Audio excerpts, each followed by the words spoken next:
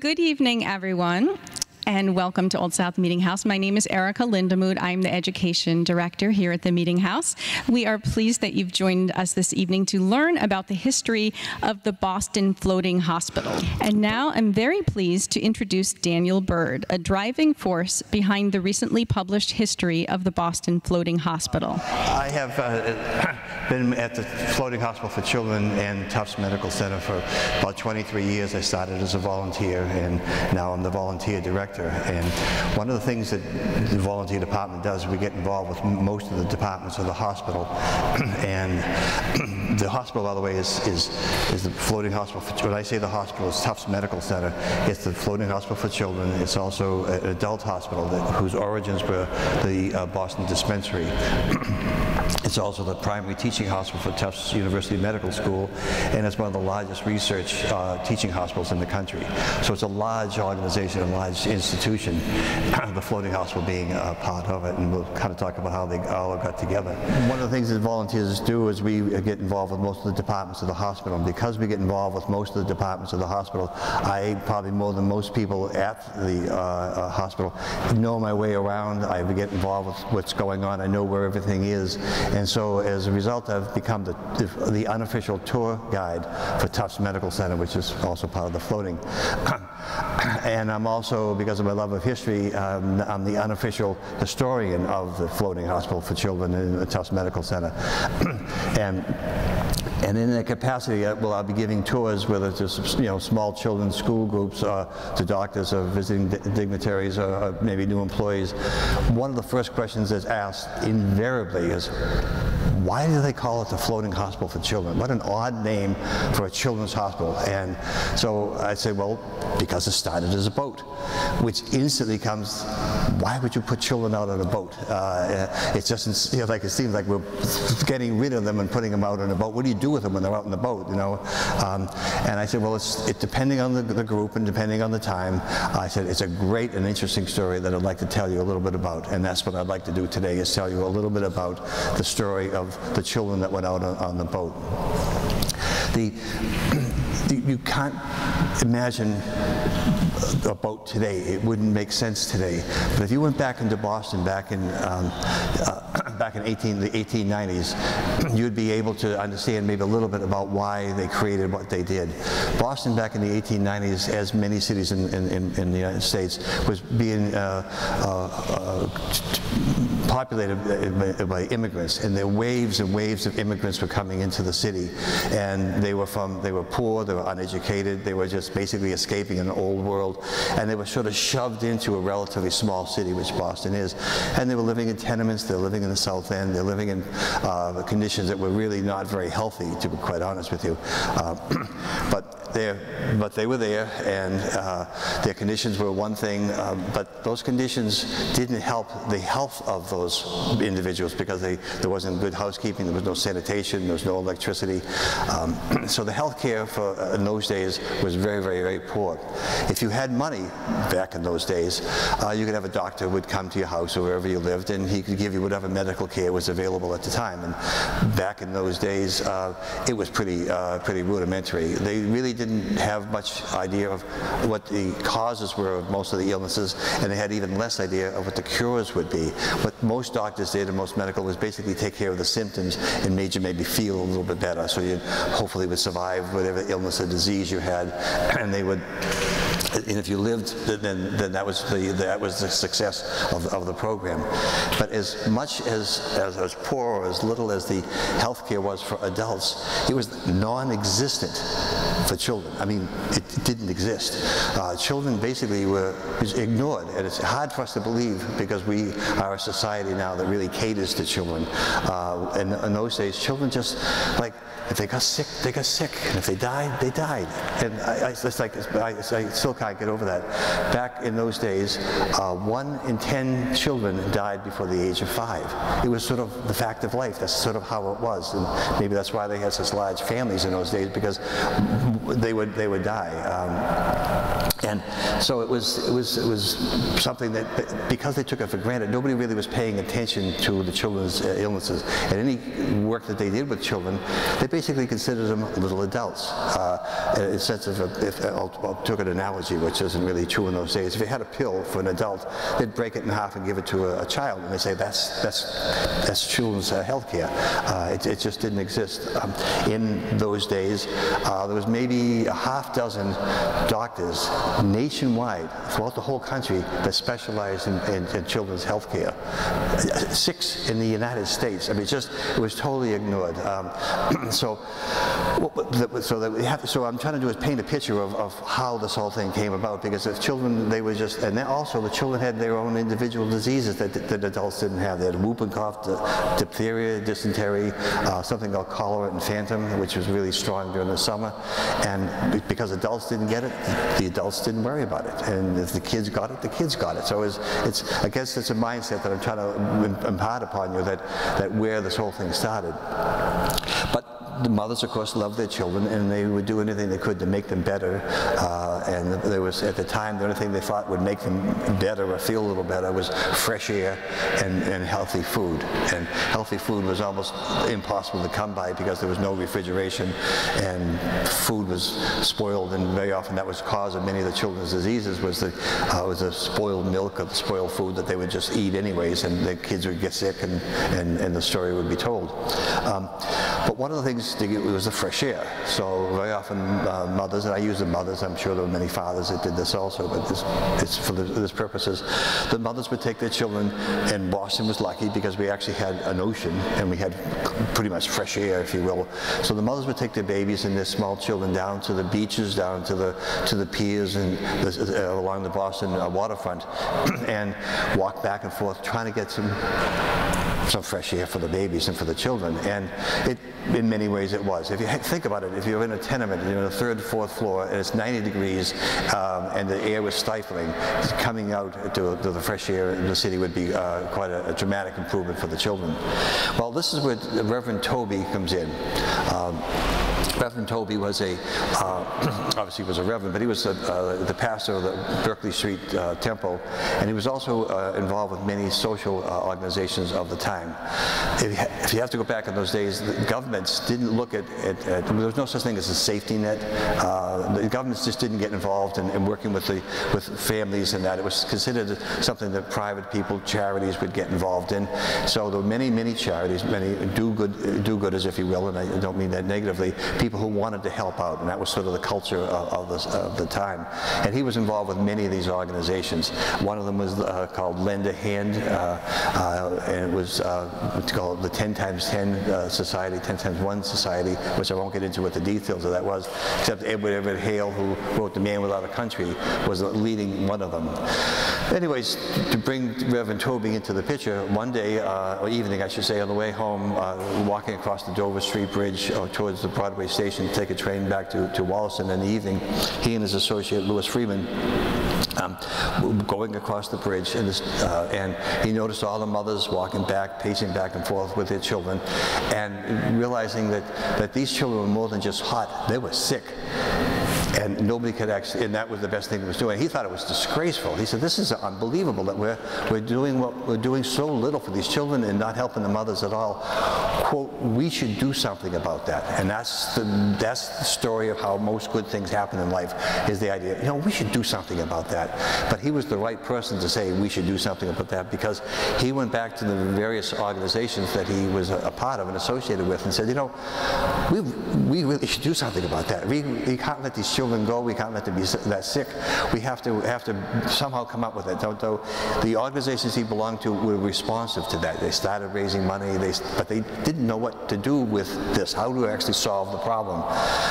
they heard somebody had heard that there was a ship in New York Harbor that was a, um, a, a hospital. I think it was for adults. It didn't last very long. It, it didn't wasn't quite like it wasn't very successful, but it was a germ of an idea of, of, of a ship out in the, uh, New York Harbor that was, treating people for, for as, a, as, a, hospital ship. They said, well, well, wait a minute. Why, rather than doing it with adults, why don't we take a, get a ship, go into Boston Harbor, and put the children on on a boat where they can get incredible amount of fresh air uh, all day uh, during the voyage. And and this was the, the thing is, while they're there, why don't we have doctors and nurses see these children? Bingo. There was, the, there was the idea, the germ of the idea. Well, once that idea was put out into the community, the community rallied. Uh, Boston uh, um, had a lot of wealthy people, had a lot of people who really wanted to. Uh, they were civically minded. They, they, they, they got the money together, they got an idea, and, but as much as they had, they didn't have enough money to build a boat, and they didn't have enough money to even buy a boat. So what they did was they actually rented a boat. And it wasn't really even a boat, it was a barge. And the, the, the barge was um, something called the Clifford. And the Clifford was what we call today a, a, a, uh, a excursion ship. It was uh, for entertainment. Uh, am I echoing? I, I, seem to be for me, I'm sorry. Um, uh, the, the, it was where people go out for dining and dancing in the evening, so it was, it was an entertainment leave and go out at night into Boston Harbor. It was towed by a tug uh, going out into it. And I mean, they do that today. Actually, they don't have tugs doing it, but it was a very common thing to do uh, way back when, and it was back in the 1890s. But you think about it, that ship went out in the evening, and around midnight it would come back to whatever dock it had, and it wasn't being used all day long. So uh, Reverend Tobey made arrangements with the owners of the Clifford to actually turn it during the daytime into a ship, a, a hospital ship it was like, like you can see a whole idea coming together here.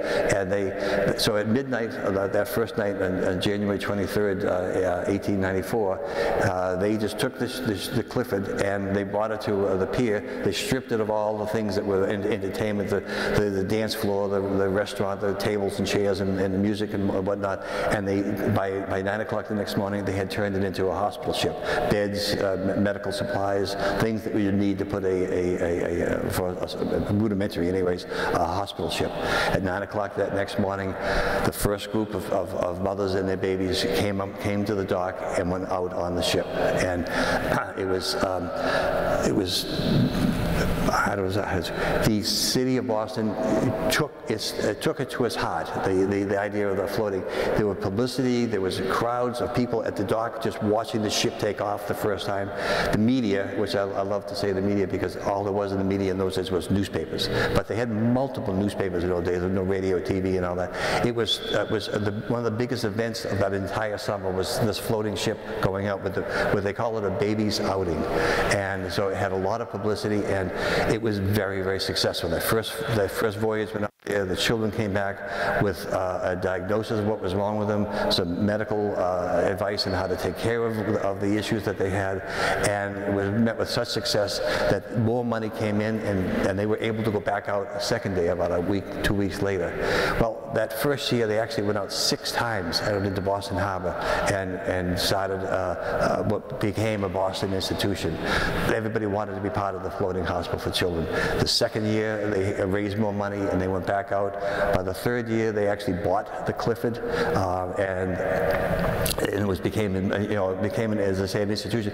But it also started to develop was a national reputation because Boston was finally doing something for the sick children. Other cities they, wanted to, but they didn't have a vehicle for doing it. And everybody says, oh my God, Boston's actually figured out something that actually works. So we're actually finding ways to take these sick children and help them. You know, the mortality rate actually, even on the boat, I have to say this as, as much, the mortality rate was almost a third, if you believe it. By the time these children got out into the boat, they were so sick that about a third of them didn't even survive. So I mean, it just shows you how desperate the, the situation was for that.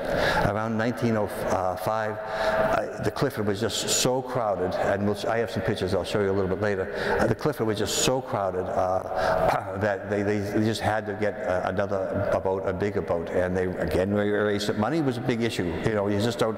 Uh, the doctors and the nurses were volunteers; they were they were quote free. But if you putting a boat out, you have the crew, you have uh, food, you have laundry, you have you have to rent the boat. So it was a lot of money involved. So it wasn't wasn't just a very simple thing.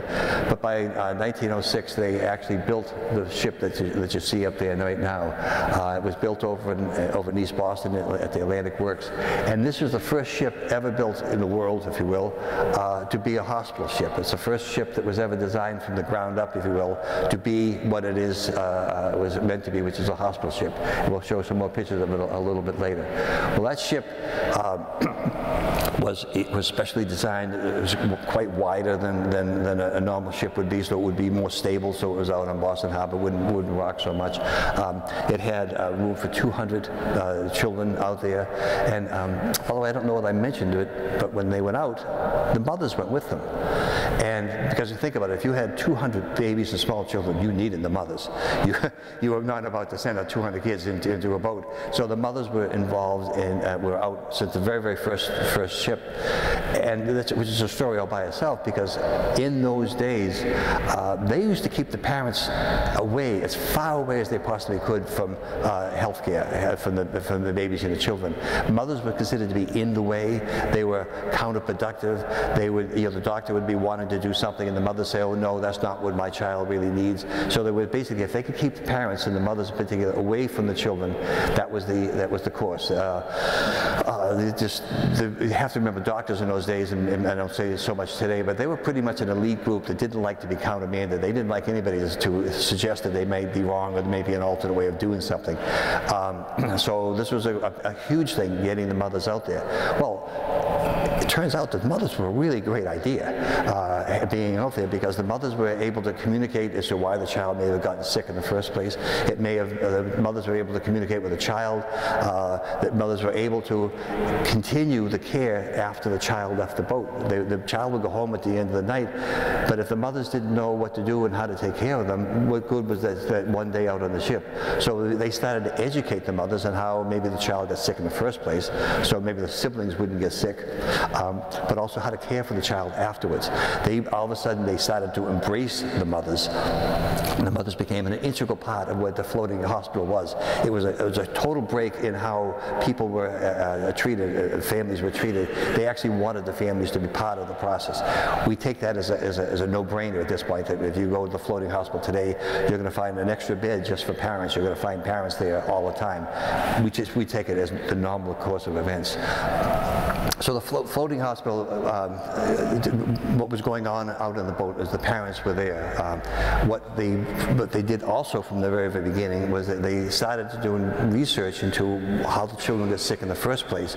And they started to realize that if you have 100 or 200 children and babies, they, you had maybe 30 or 40 that had whooping cough. You had 30 or 40 that had cholera infantum. They started realizing there was patterns of who got sick, how they got sick, what, you know, and then also started, they started doing some, some, some uh, cures and say, well, when we did this with these, this group of children, it worked. We did it with that. It didn't. Uh, rather than cheating one child and another child here and there, because they had so many all in one place, they're actually able to do some real research into the causes and the, and the, and the cures of ch childhood diseases. So right from the very beginning, research was a major portion of what made the floating hospital uh, special uh, out there. Um, what I'd like to do is, so anyways, the, the, that boat went out there for uh, 27 more years uh, excuse me, for uh, 21 more years. And it wasn't until 1927, uh, when about to start the new season, that that ship was at a pier at, uh, out in uh, the north end, and the pier caught fire, and the fire went to the boat, and the boat burned to the ground. Uh, and there was nobody on the boat, nobody got hurt, but the boat was gone. And when they, they, they this, this, choice at that point was, do we need a bigger and better boat for, for, the, for the children? And they realized by that time they realized it was the fresh air wasn't really the most important part of the, the process for the cure, that they, they could actually have a, a hospital, a children's hospital on dry land. And they did, and through the insurance money for the boat and the gener generosity from the brothers called Jackson, they built the Jackson building over on Ash Street, right next to the Boston Dispensary, and that existed for almost 50 years. And then eventually in 1983, uh, they went to the building that's there now today over on Washington Street, uh, the, what we call now the new Boston Floating Hospital for Children. What I'd like to do is, is that was sort of like an overview, if you will, how the whole thing got started. There's a, there's a, there's a series of photos uh, that a lot of them are, are in the book. Uh, it was just, we were just very lucky to, that we were able to save as many as we could. But I'd like to show you some of the photos and kind of flesh out out the, the story that we have here. I'll kind of kind of go through these and kind of talk a little bit about it. But I, the, the, as, a, as I said in the beginning, you have to go back to why the floating uh, came about. You have to go back to what, what Boston was like. So if you can picture, that was pretty much that's State Street in downtown Boston. You can see the State House. And if you picture, that's the environment that, this, that the uh, that the the, the uh, Boston floating was created. That's an oil painting of the Dover Bridge. That's where the mothers were walking back and forth where Reverend Tobey uh, saw the, the, the, mothers and uh, wanted to actually do something about it. The reason why they even painted that was because it, that bridge at the time was a great tourist, if you will. People would look back into the city of Boston and the way it was positioned. Right now it's just part of, a, part of the big dig practically. This is Reverend Tobey himself. It's kind of an unusual photo of him because he very rarely had a beard, but it's the only photo that we actually have of him like that, holding a, a young baby. He stayed with the hospital Hospital over, over 20 years as the head of uh, the, the, the, Floating Hospital Foundation. And he was great at fundraising, great at publicity, great at getting more and more people to be aware of what the floating was and what it could be. Um, this is the picture of the Clifford uh, being towed in Boston Harbor. Uh, and you can see it was, it was, it was literally just a barge. Uh, I want to show one more, that's a, a, better picture. You can see they had the word floating because when they finally bought it, they were actually able to put the name of it. But I really wanted to show you was, uh, I guess it's a, a point here well, you can see it, how crowded it was. It was absolutely just mobbed with, with, with uh, patients and, and mothers and, and crew members and, and doctors and nurses and siblings. That was another thing I wanted to mention was that, that they, they, actually allowed other brothers and sisters to go with the mother um, because if the mother had to take care of the child uh, at home, she wouldn't be able to take the sick one with them. So they actually allowed a, sibling to come aboard. Well, that, this whole thing was so revolutionary because because it was on a boat, they had to keep breaking all these rules. These nobody ever do it, but because it was a boat, they, well, it's a boat. I guess we have to do it this way. So what they did with the children, the siblings, they actually created a kindergarten, and the kindergarten was actually had a kindergarten on the boat. And that idea of treating children as children who happen to have an illness or disease, again, was a, was a, was a change of paradigm in how how they viewed this whole whole uh, institution. This is an article from one of the newspapers at the time. They called it the baby's outing. The first excursion of the season in the floating hospital sailed down the harbor. Um, let me see if I have um, uh, one of these things here. It's not going to work. That's all right. Um, they talk about that when it seemed like every time the floating went out, it was good weather. So you started calling it, it was called the floating weather uh, along the way. So uh, it, was a, it was a big publicity. Uh, everybody knew uh, the days that they were going out, because they would go out maybe once or twice a week, but everybody knew which day it would be. And I, I, included this photo because you could just see the variety of people that would be on the Clifford. You have, you have crew members, you have mothers, you have doctors, you have nurses, uh, you have siblings. It must have been an interesting boat to be on uh, when you think about it. Hundreds of killed children, hundreds of uh, caretakers. Uh, going back, as I talked a little bit about, they were constantly looking for, for money, for fundraising. By the way, the, the, the, they were never charged any fees. This, any medical care was always free. Uh, they never charged, I guess, until around almost 1930, and then it was a very nominal fee. So, and also the other thing, which is not to do with fundraising, everybody uh, was, there was never any exclusion, uh, whether race, creed, religion. There was from the very get-go, everybody was welcome uh, as they are today. This one here is a fundraiser. Somebody actually gave $100 and Rufus Tobey, the chairman and manager, manager, actually signed it. They were very creative about how they did their fundraising. One was, of course, a certificate. Um, but this one here was a souvenir card uh, for a cabaret and a pops concert that they had over in Hull. and it was a sort of a, a, a little a souvenir that they were doing back in August uh, 1913 over by uh, Allerton. And that's obviously next to Boston Light. Uh, I think it's a, it's a great photo. This photo here was something that uh, a little boy looking through. This was a iconic photo. They, they, they, when children would come to the floating, everybody wanted to have their picture taken inside the the uh, the life raft there, uh, the, the, floating, and it became everybody would go like they do it today. When you go to amusement park, everybody wanted to. There was more photos of the children looking out. But that particular one, maybe it's because of his eyes or whatever. And I think it's a boy. In fact, I really don't know. Um, but that one actually became uh, something that's been used even to today when they talk about the floating. It's still used in our publicity, still used in our, our marketing and that. The, who would think about it? If you had literally 1,000 to 2,000 children who needed medical help, how did they pick the 150, 200 that would go out there?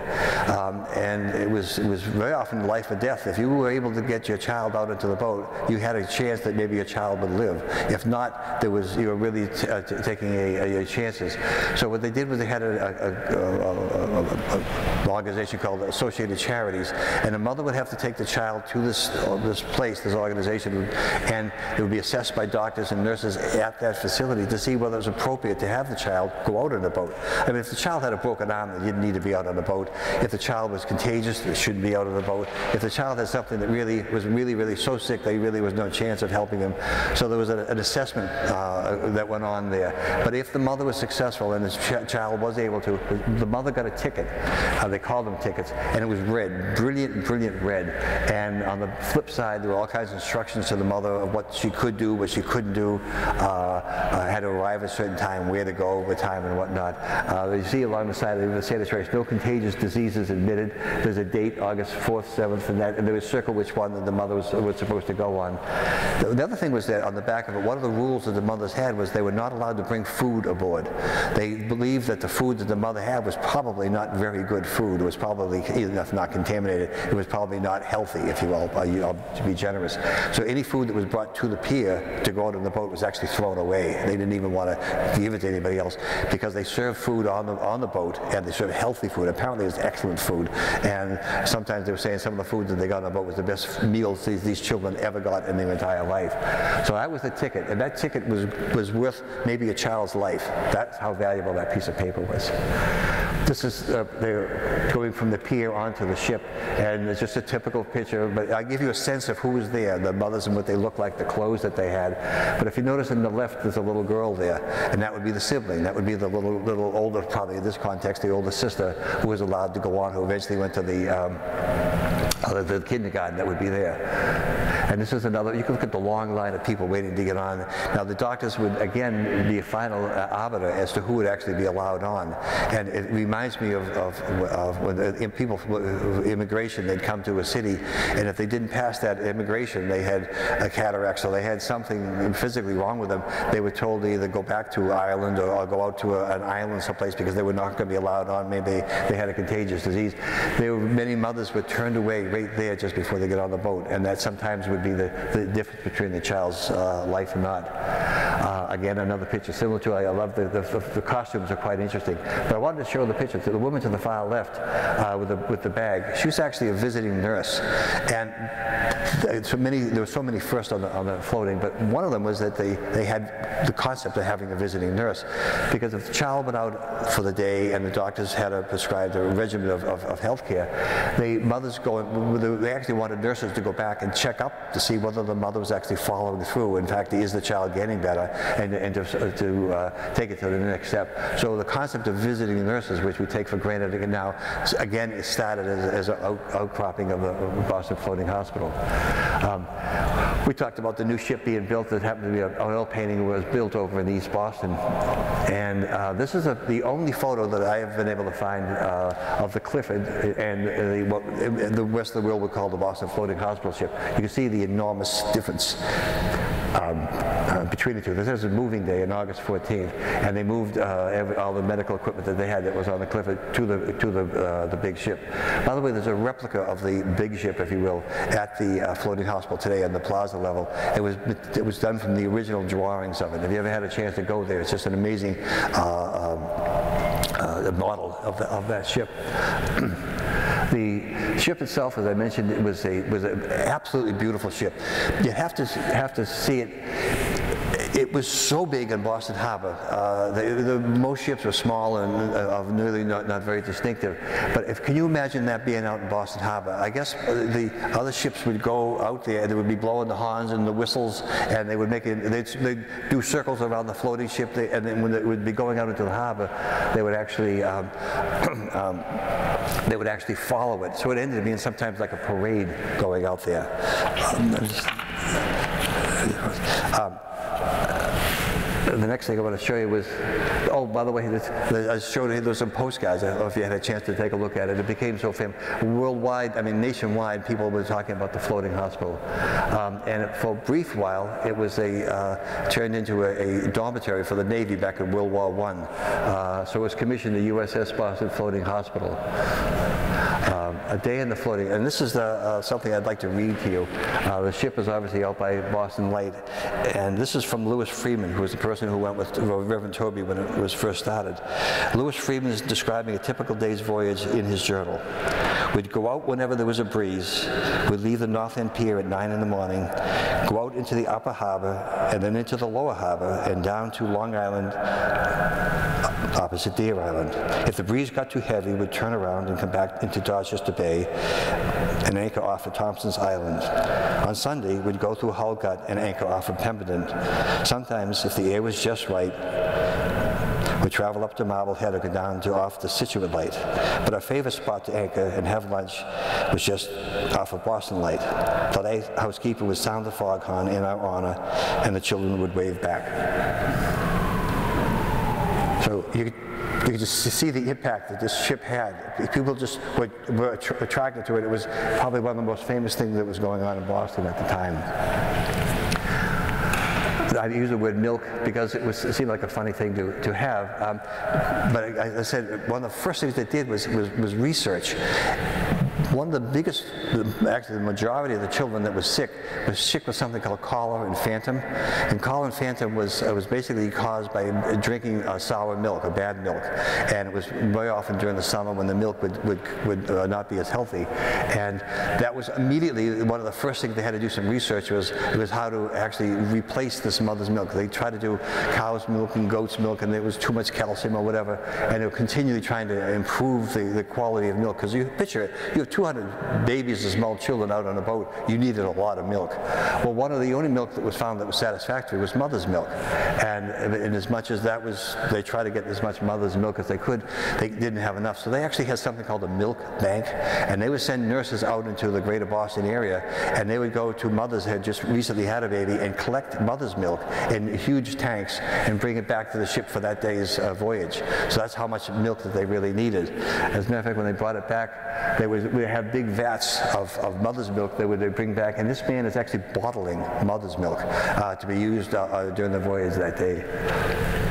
Um, the, uh, educating the mothers was a huge part of this also, and this particular one is they, uh, they are being educated how to sterilize the bottles. Uh, so much of this, it was an uneducated population, and they really didn't realize the value of, of sterilization, the value of, of quality food.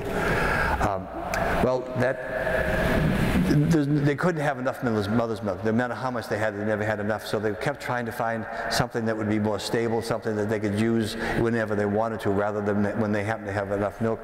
So there's a Reverend, uh, excuse me, a Dr. Um, uh, Bosworth, in his laboratory, was actually able to create a compound that mirrors uh, uh, uh chemically uh, what mother's milk is, and it was in a powdered form, so all they would have to do was just add water, and they would have milk whenever they wanted it. Well, that formula uh, was, was Similac, what we now call Similac. Similac was actually invented out in Boston Harbor. Um, and Boston Floating Hospital, they wanted everybody to know about this, this product, so they gave, gave it away free free. They gave the recipe away, the, the patent away free, and uh, all over the country, people started bottling. They had another name for it. It was the Franklin Infant Food was the first name they had for it. Well, a company called Abbott Chemical, which exists today, decided to patent this. We never bothered, we, the floating house, never bothered to patent this. The Abbott Chemical decided they were going to patent this, and they patented under the, the, trade name of Similac, and you can see all the various products that they have. Had the floating hospital decided to keep it and patent it itself, we wouldn't be looking for money today. We would be much better off.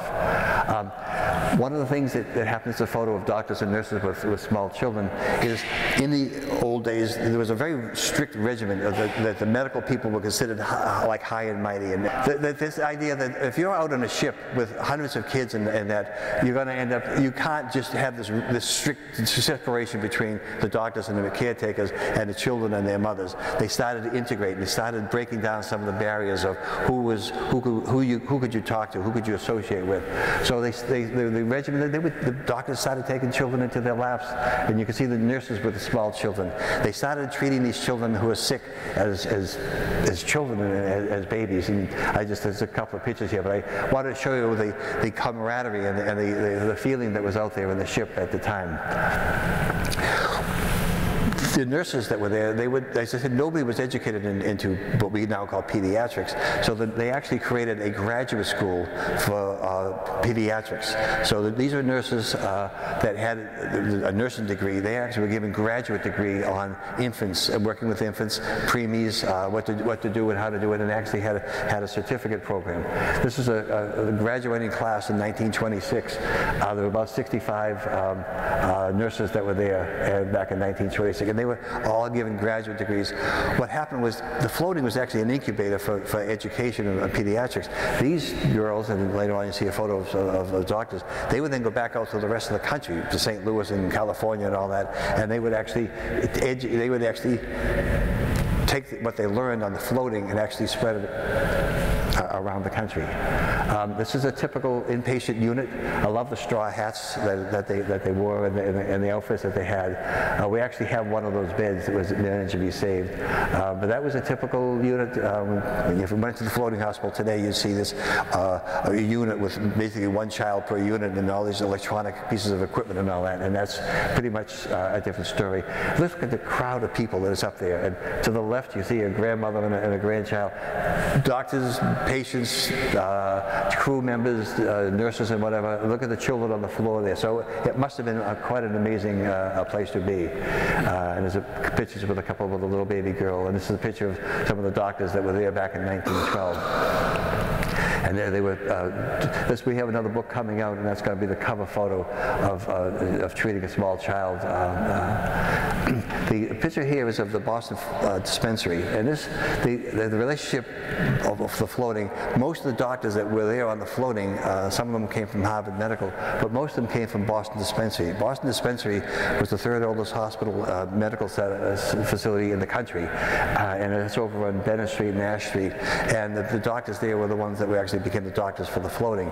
So the relationship between the, uh, the, the, dispensary and the floating has been since its very existence. And today, that's actually what makes up Tufts Medical Center. The, the, the uh, Boston Dispensary, uh, which eventually turned into uh, the Tufts Medical Center, the Floating House for Children, Tufts Medical School, and the Pratt Diagnostic all grouped together into what became known as New England Medical Center.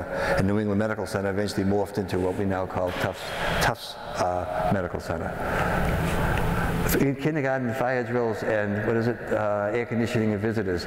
Um, this is a photo of the of the uh, uh, the air the, um, uh, the kindergarten that was there. This is Mrs. Parker, and these are some of the children, the siblings that were out there on that. That idea of, of working with the children, we now have something called the child life area, in which the children who are in the hospital, we have a play area, but it's a beautiful play area, and and uh, something that was unique at the time and now is very very common. Uh, this is a, a picture of the of the them eating the food. Uh, there was a, some of the most delicious food apparently that was available to them. Um, I talked a little bit about air conditioning. Even though they're out in Boston Harbor, sometimes you know, we lived the past couple of days, with 90 degrees around here, how hot it was. Even if you're out in the harbor, it was really too hot. Um, there was a candy factory in, in, Milton that, if you think about it, a candy factory in the middle of the summer, the candy's got to melt. They actually put air conditioning in this, this candy factory out in Milton. And somebody who was a doctor on the, uh, on the ship was, went to get some candy and said, why, this place is really cool in the middle of, middle of the summer. How did you do it? And said, well, we have air conditioning. They actually took the concept of it and they put air conditioning out on the ship. It was the first, and I've heard of this, whether it's true or not, I don't know. It was the first ship in the world that was ever air conditioned. It was the Boston Floating Hospital for Children because they really you know, there's no point in having these children out there to get fresh air if it was too hot for them to, to, to be there. Um, I love this photo. Uh, these are these were uh, children who uh, obviously had rickets and they were trying to get the, the vitamin D from the sunshine, and so they were sending them up to the top deck and wish them well. So I think it's a great little photograph. I wonder where those kids are today. Um, one of the things is the visitors. Um, this is a, you get a free cup of coffee. People wanted to be associated with the, floating hospital. So they had dignitaries, the doctors from around the country. They had uh, politicians. Uh, they also had people who, who, were most prized, and these are people who would contribute money to the floating. And if they were really good, they got a free lunch. Uh, the thing started in 1894, and this was even one year later. They were already giving away uh, free lunches. So um, as it was going on, the floating, as successful as it was, it just couldn't do everything for the children that it really, really wanted to do. So they started to create what's known, as you can see on the left, an onshore department. This is on Wigglesworth Street out by uh, Longwood Avenue uh, is now. And the floating was only there during the summer. And so with the ch children were sick in the winter, or the children needed longer care, they could be handled in, in, a day, they would very often take them to this onshore department. The onshore department also had uh, uh facilities for longer care, but they had more research facilities. I keep bringing back research because it was a major part of what made the floating special was it wasn't just a place to, care for the children, it was a place to figure out what was wrong with them and how, and how to uh, care for them even more uh, effectively. This happened to be another picture of, of, of, of, Reverend Tobey, a very rare one, but he's taking a shuttle car from the boat, which you see up there, out to Wigglesworth Street, and the, the child is in the, the nurse's arms there has a whooping cough, and so they were taking it to the, to the onshore department.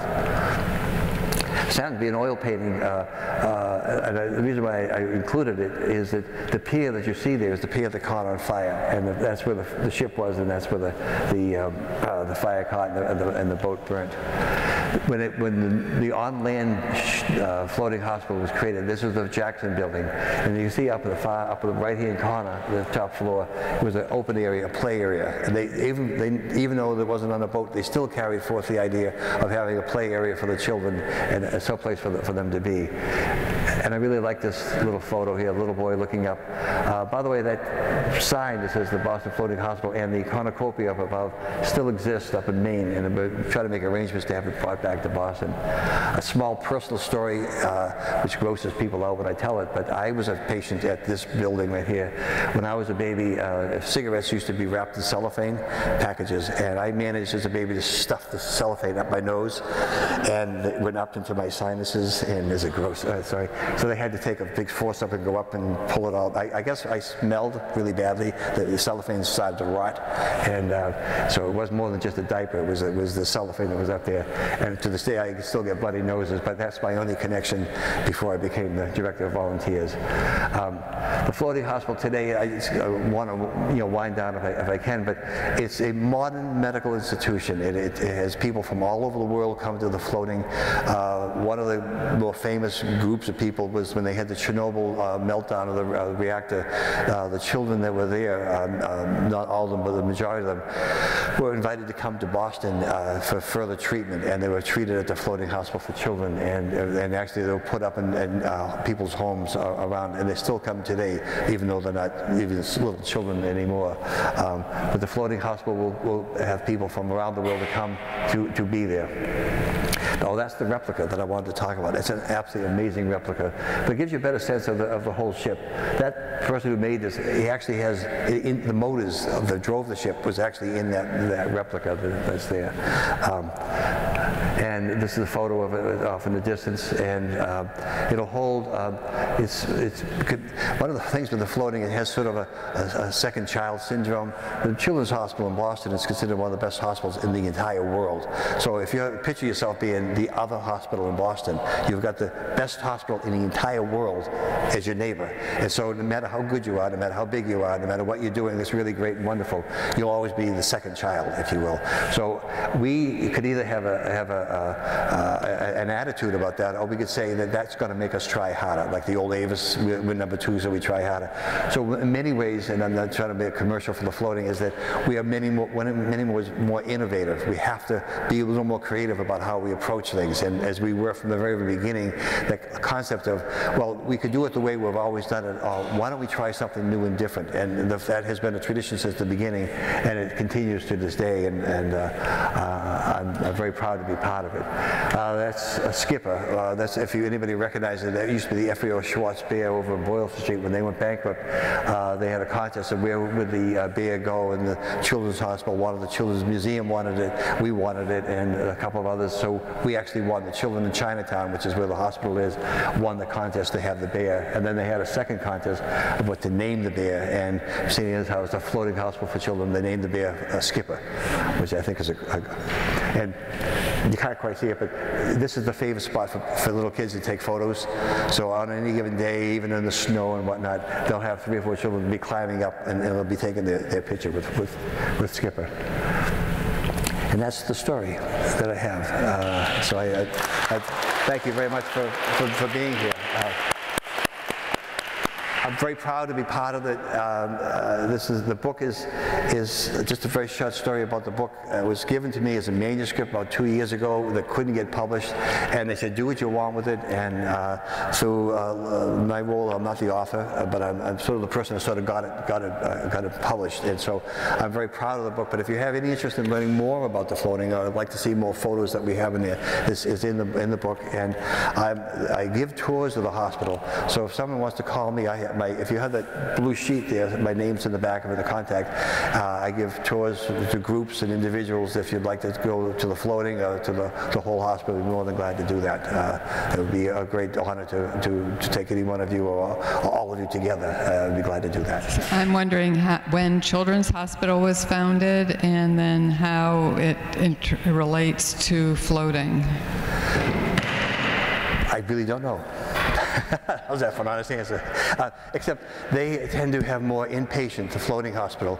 It tends to has about 400 inpatients, uh, and not as much on the clinical side, uh, outpatient. We, the floating, tend to have more outpatient and more research associated with our care.